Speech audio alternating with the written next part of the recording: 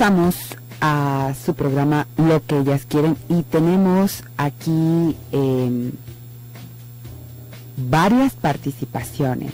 A ver, me dice Lupita González que cómo la puede, me puedes ver en cabina. Mira Lupita, te metes a zona3.mx y luego en nuestra página hasta arriba hay una que dice cámara en cabina y ahí es en donde tú le tienes que picar y entonces ahí ya nos puedes ver, ¿sí? Ojalá sí. Mira,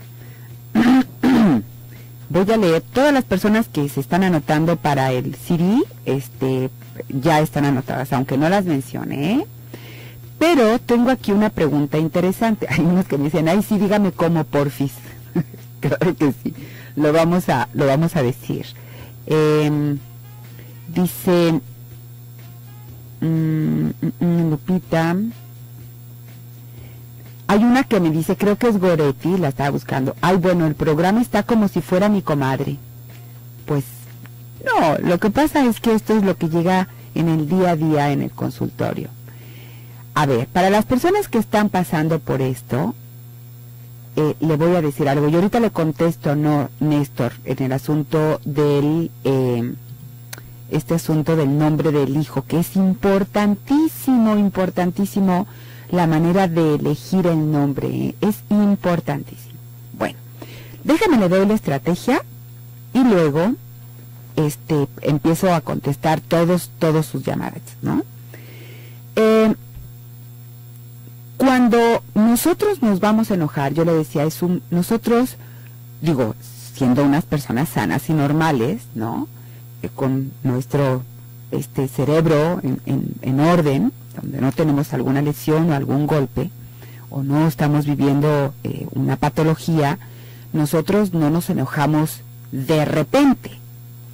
Nosotros nos vamos calentando en primera.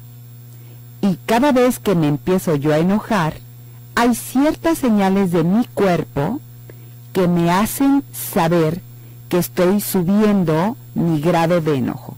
Y empiezo con algo que me es incómodo. No me molesta, pero es incómodo, ¿no? Pero luego le subo a molestia. Y luego voy subiendo así, me enojo, pero todavía me puedo parar. Pero cuando esto ya es intolerable, cuando yo ya estoy de verdad iracunda, ya no puedo pararme.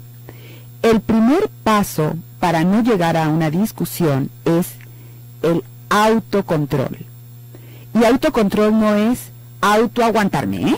No, no, no. Autocontrol es checar mi cuerpo antes de empezar a hablar, todo mi cuerpo, decir, a ver, ¿cómo me encuentro? Porque a veces Juan me la hace y Pedro me la paga. Ya vengo calientita de otro lado y vengo y vocifero con alguien más. Entonces lo primero que necesito es, y créanme que no es muy fácil hacerlo, pero es práctica y paciencia, y de, hay que darle tiempo. Primero me checo antes de llegar y platicar con esta persona, ¿no? Con mi pareja. Si estoy en buen mood, si estoy en buen ánimo, en buen estado, digo, ah, estoy lista. A ver, ¿cómo estoy? Hay tensión. Y le voy a dar algunos lugares claves donde se acumula la tensión en la mayoría de las personas. Y esto tiene su sentido, tiene que ver con la biología, pero no vamos a platicar de eso. Los lugares son los hombros. Los hombros, cuando estamos tensos, están hacia arriba, si usted se checa ahorita un poquito, vea sus hombros a ver qué tan hacia, a qué tan hacia arriba está, ¿sí? Entonces necesita como que bajarlos, ¿no? Bajar su, sus hombros. Esto es lo primero. Si están arriba, usted está tenso. Otro lugar es la mandíbula.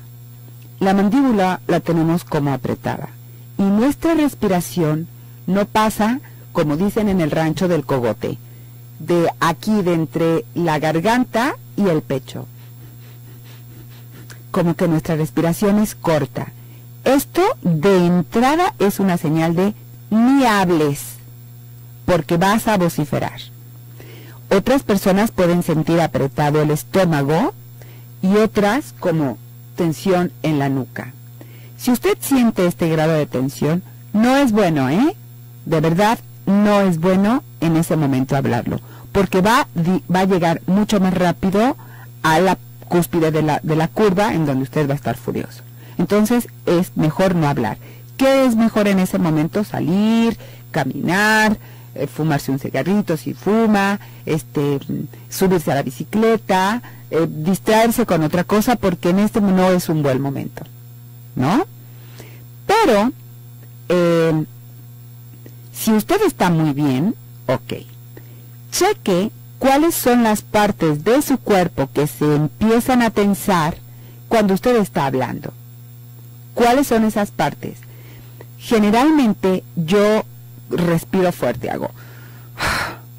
Esto es una señal infalible de que lo que sigue ya es grito, ¿eh? Entonces cuando hago yo, oh, esta, como, como decía este, nuestra mamá, ¿no? Es como, ya empezaste a resollar. Bueno, cuando hacemos el, oh, ahí es mejor hacer un estado separador. Cada uno de nosotros tenemos un lugar en donde la tensión está fuerte usted identifíquelo. Yo no le puedo decir este, yo le puedo dar algunas ideas en donde yo conozco y sé por la práctica en, la psicoterapia que la gente me refiere, pero cada uno de nosotros somos diferentes. Si usted empieza a sentir estas señales, es el momento de hacer un estado separador. ¿Y qué significa un estado separador? Decir, ¿sabes qué? Creo que vamos poniéndole pausa porque yo me estoy sintiendo enojada y sé que no vamos a llegar a buen término. Pero es yo, no es me estás haciendo enojar, ya me desesperaste, no entiendes, no, no, no, no es. Yo me estoy sintiendo desesperada, me estoy sintiendo molesta y creo que así no voy a llegar a buen término. Necesito espacio, necesito tiempo, eh, necesito pausa. Si usted observa en el otro que le está pasando lo mismo, hágaselo ver, decir, oye, ya empezamos a subir la voz, esto no nos va a llevar a buen término, vamos dejándolo en pausa con el compromiso de que vamos a regresar y vamos a retomar el, el, el, asunto, pero desde otro punto, desde otro estado mucho más ecuánime. Esto se llama estado separador, hacer una pausa. Y hacer una pausa es de verdad hacer una pausa.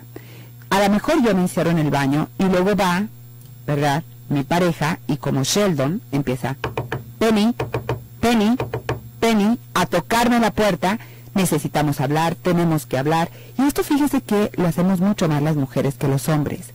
Los hombres dicen, oye, son las 12 de la noche. Si ahorita tomamos este tema, vamos a acabar a las 3, 4 de la mañana. ¿Qué te parece si mejor lo hablamos mañana? De verdad el, compromiso es hablarlo mañana. Las mujeres siempre decimos, no, no lo vas a hablar. Bueno, si el compromiso está de que lo hablamos mañana, claro que lo hablamos mañana. Pero para nosotros es importantísimo resolverlo en ese momento. Pero hay que entender que a veces en ese momento no es el mejor momento. Si lo que yo quiero resolver es, si lo que yo quiero realmente resolver, ese no es el mejor momento. El estado separador es ese, de verdad, un estado separador en donde nos respetamos esta pausa y nos vamos, ¿no? Y nos separamos. Puede ser toda una tarde y una noche, puede ser todo un día, dos días, tres días, pero el compromiso está en regresar y tomarlo, retomar el punto. Ese debe de ser el compromiso. Es como, porque cuando nosotros nos separamos antes de llegar a la cúspide, ya que nos, nos baja el humor negro, podemos ver mucho más claro y, nos, y no nos cegamos. De ahí la importancia de darnos este estado separador. Claro, aquí alguien me pone, se requiere amor y voluntad. Mire, con amor no basta. Se requiere autocontrol y claro, la voluntad de, ¿no? Tal vez no me guste hacer esto, tal vez yo lo quiero resolver ahorita. Pero si el ambiente no está propicio, no va a pasar buena cosa. Al contrario, lo vamos a empeorar. ¿Sí? Bien. Vamos a una breve pausa y regreso con respuesta.